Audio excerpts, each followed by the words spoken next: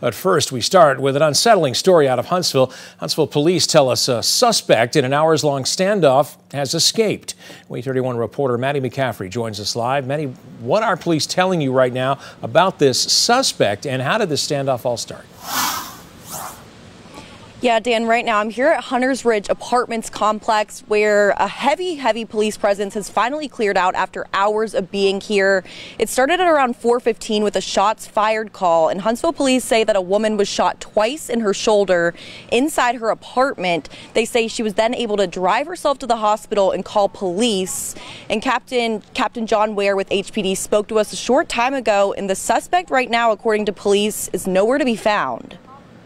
Dozens of officers and a couple SWAT team units camped outside the Hunters Ridge apartment complex for hours, searching for the person responsible for this shooting. In reference to a domestic incident where the female victim had been shot twice. Uh, she was able to get herself out of the house and drive herself to the hospital. Uh, officers arrived, uh, couldn't locate the offender. Uh, we've spent the last several hours making sure that he wasn't in the apartment so that you know the victim's safe to return home. We don't know where he is currently. Uh, we will be obtaining warrants for him in the near future. Despite a suspected gunman on the loose, police tell us the public is not in danger right now as they believe this is an isolated incident.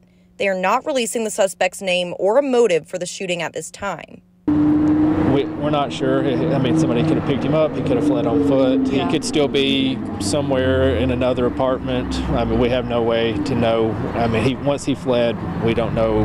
The victim can't tell us where he may be. So. Yeah. Are you guys releasing his name to us? Not right now, but we probably will uh, after we get warrants obtained. Now, the injured woman is expected to be okay. She did not sustain any life threatening injuries. Huntsville police say they're in the process of getting warrants obtained for the suspect right now. And HPD urges anyone, if you witnessed anything or have any information about this domestic violence shooting, to call them immediately. We'll stay on top of this for you and let you know the latest on air and online at waaytv.com. I'm live in Huntsville with coverage you can count on. Maddie McCaffrey, WAAY 31 News.